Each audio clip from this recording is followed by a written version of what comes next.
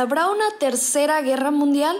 Primero la invasión de Rusia a Ucrania en 2022 y el conflicto entre Israel y Palestina en 2023, el cual la Organización de las Naciones Unidas cataloga ahora como un en contra del pueblo palestino. Este año la situación global no ha hecho más que deteriorarse, pues el presidente ruso ha modificado la doctrina nuclear de su país. El CEO Jamie Dimon mencionó en la reunión anual del Instituto de Finanzas Internacionales en Washington, D.C., que estos conflictos indican que la Tercera Guerra Mundial ya comenzó. Sin embargo, en el Pentágono, la vocera Sabrina Singh fue cuestionada con la misma interrogante, a lo que ella respondió que no diría eso, pues no caracterizaría la situación que estamos viviendo así.